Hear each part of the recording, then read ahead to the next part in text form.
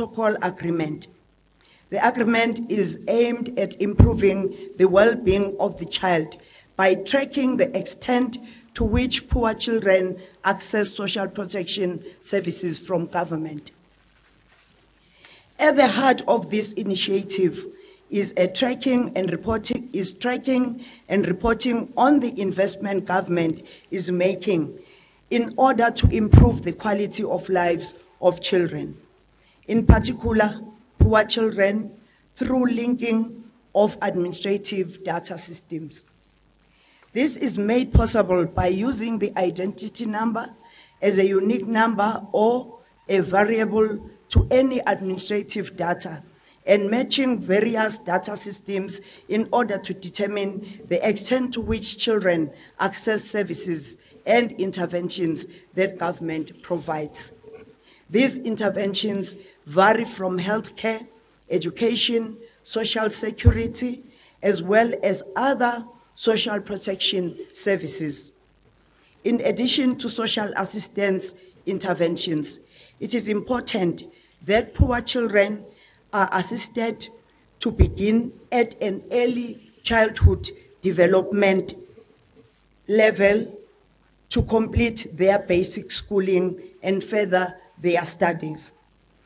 Education is a major vehicle through which children can exit poverty.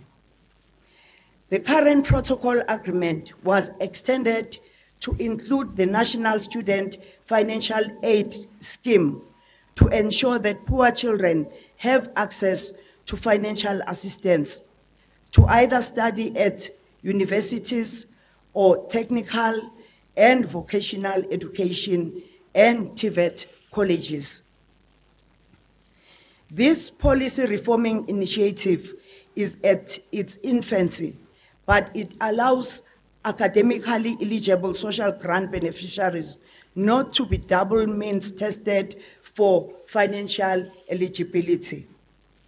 A special outreach project was initiated in October 2016, which was aimed at reaching a large number of poor and vulnerable children in grade 12 to apply for NSFAS funding for the 2017 academic year. Special strategies were also employed to reach as many as poor children, especially in the quintile one, two, three schools, as well as children attending quintile four and five schools. Today, our report provides information on the analysis about children that were receiving social grants attending grade 12 in 2016 and their matric results. Members of the media, according to Department of Basic Education, 674,620 full-time learners registered to write for the National Senior Certificate. Out of this total, 188,758 learners were social grant beneficiaries.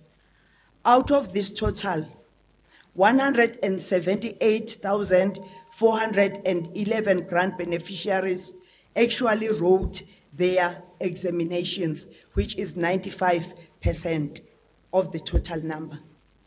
This suggests that over 10,000 grant recipients dropped out of school before sitting for their final examinations, and we have committed ourselves to investigating to the reasons and causes uh, of this dropout. I'm very pleased to announce that the girl child continues to take all the opportunities given to her by government. We want to report that 112,409 of the total number of social grant learners who wrote matric were girls and they live in Gauteng and KwaZulu-Natal. Of most concerning to us is that only 66,002 boys uh, and two were boys. We need to be concerned about the life of the boy child And it is time that we pay more attention to our boys. Ladies and gentlemen, the Department of Basic Education provides different uh, descriptions for the types of pass for candidates. And therefore, I'll just go straight uh, into those uh, categories. Despite the conditions of our vulnerable children, 41% managed to receive a bachelor's pass, which gives them entry to any tertiary education institution. The majority of the learners who obtained a bachelor's pass were from KwaZulu-Natal and Gauteng.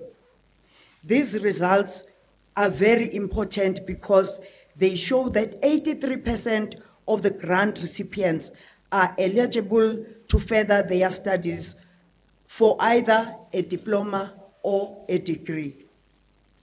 This information is, vi- is vital, particularly for NSFAS, as these students should automatically qualify for funding to further their studies at institutions of higher learning.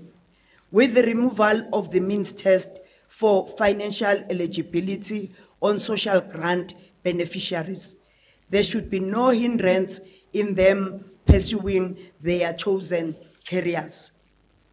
Finally, working closer with NSFAS, a large number of children were reached in order to assist them to apply for financial assistance. For example, a lot of application forms were distributed to Isibindi sites, and we were also able to target poor district municipalities by distributing some application forms to DBE district offices. In addition, a number of learners were reached during the department's public participation program, Mikondzo. We are grateful for the existing partnership between the Department of Social Development, SASSA, and NSFAS, as it will certainly advance the hopes and aspirations of the poor, orphaned, and vulnerable children in the country. I would like to take this opportunity to congratulate all our social grant beneficiaries who did well and to encourage those who did not make it. We want to say this is not the end of the journey and also it's not the end of life. And government has made provision for all learners who did not pass to try again through a specially designed second chance matric support program. The department uh, also, through the GBV Command Center, will continue to provide counseling and support to all learners and parents of children who could not make it. But also, the Department of Social Development commits in supporting all grant recipients who are on their journey to higher education should they come across difficulties throughout the country. Towards the end of the week, we are going to provide uh, to the media and to all uh, institutions names of uh, people that are going to take responsibility of uh, the children throughout the country. I thank you.